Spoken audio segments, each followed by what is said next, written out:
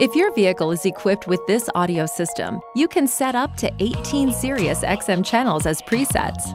Press the SXM button to choose SXM1, SXM2, or SXM3. Use these controls to select a channel. Touch and hold one of these preset keys to save that channel as a preset. A beep will sound to confirm that the channel is saved in memory.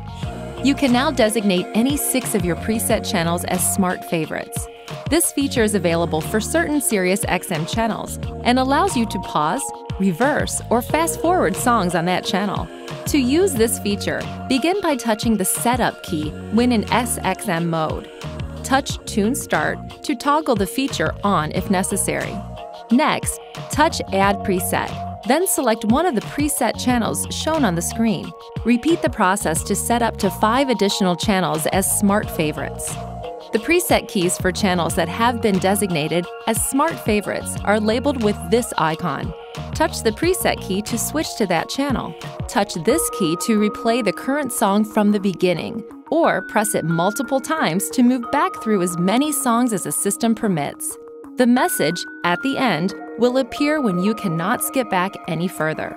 You can only skip back through songs after the system has been on the current channel long enough to receive and save information. For example, if you have just turned the system on or have switched to a different preset and then back again, this function will be unavailable for a short period of time. Touch this key to pause the current song. The amount of time reversed from live play will be displayed here. If available, touch this key to skip forward through songs.